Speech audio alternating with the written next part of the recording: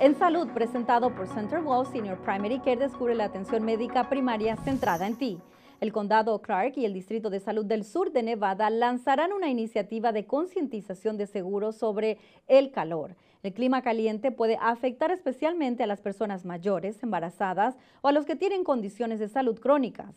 Expertos enseñarán cómo conocer los signos y cómo prepararse para el verano y a prevenir enfermedades y muertes relacionadas con el calor. Será el jueves 16 de mayo en el anfiteatro del Centro de Gobierno del Condado Clark.